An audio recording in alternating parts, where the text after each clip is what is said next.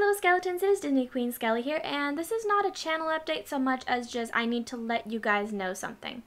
So as you guys know, at the beginning of every single one of my videos, you would see some kind of intro card, right? Well, unfortunately, those are stopping as of today. Well, I mean, you guys saw a video previously where I had the intro card, but okay. It's, it's stopping after during this video. So this last video that you saw would be the last video where I have an intro. Um, I don't have a Mac. I have a, I think I have a, I don't know what I have. I have a Acer. I have an Acer laptop. And obviously I can't get the introduction app that I have on my phone to be on my laptop because it's an Apple, I have an Apple device. So until I can figure out how to get an introduction app or software on my computer, for now the intros are going to stop.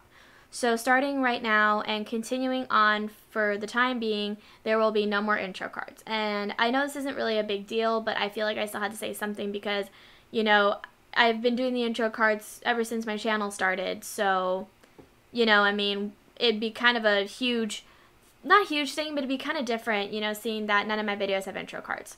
So I just thought I'd let you guys know in case you had any questions, or maybe if you even have some advice, uh, let me know if there's any good, like, um, introduction uh, software or applications that I can get on an Acer, or, you know, a Windows pretty much operated system. And I, I'd love to know. I just, I really would like to get the intros back. I just, it's so tedious emailing them from my phone to myself. The attachments are too big. Sometimes it doesn't send through to the email, and it is just absolutely ridiculous. So I feel like it's just better this way.